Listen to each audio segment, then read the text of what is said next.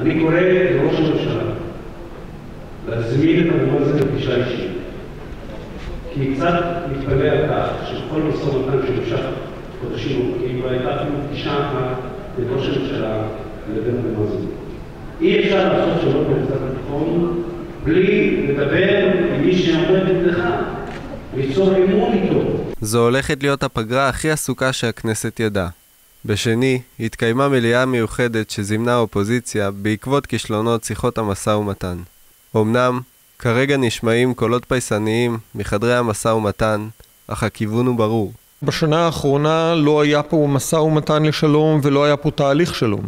היה פה תהליך מאוד כוחני של המשך של מציאות של כיבוש, המשך השקעות בהתנחלויות, המשך קביעה של עובדות חד צדדיות כדי למנוע הקמה של מדינה פלסטינית בצד מדינת ישראל. כשנתקלים בבלוף, הדבר הראשון שצריך להגיד זה בלוף. אולי הקונספציה שהייתה עד היום של שלום, אה, שתי מדינות לשני עמים, כל הקונספציה לא עומדת במבחן הזמן.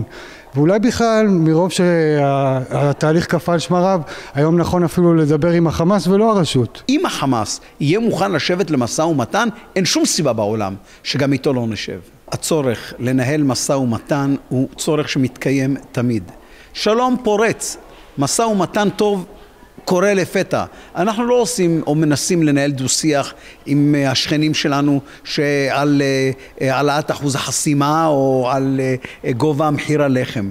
יש בינינו, יש אויב קשה מולנו, וזה לא יכול להיעלם ביום אחד. לכן אני לא מאלה שמרימים ידיים. אין לנו את הפריבילגיה להרים ידיים. אנחנו במשך שנים רבות דיברנו על שתי מדינות לשני עמים. אני עדיין חושב שזה הפתרון הנכון. יכול להיות שאפשר גם לחשוב על קונפדרציה כזאת או אחרת בין שתי המדינות האלה. יכול להיות שאפשר לחשוב על גבולות פתוחים. יכול להיות שאפשר לחשוב על המעמד של אזרחים שנמצאים בתוך שתי המדינות האלה. דיון החירום של האופוזיציה לא הצליח להחזיר את שיירת הח"כים שניצלו את הפגרה ויצאו לחופשה בחו"ל.